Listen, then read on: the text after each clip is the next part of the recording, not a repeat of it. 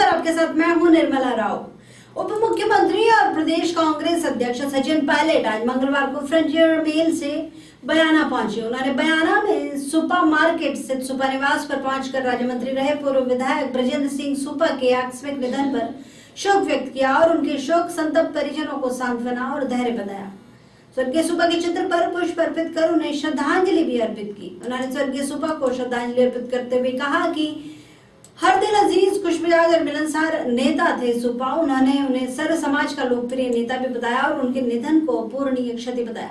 इस दौरान राज्य मंत्री भजन लाल जाटव, विधायक आर खटाना अमर सिंह जाटव, पूर्व जिला प्रमुख रामलाल सागर, प्रधान लाखन सिंह, खिडोरा सहित कांग्रेस के कई प्रमुख नेता और अन्य हस्तियाँ भी मौजूद रही।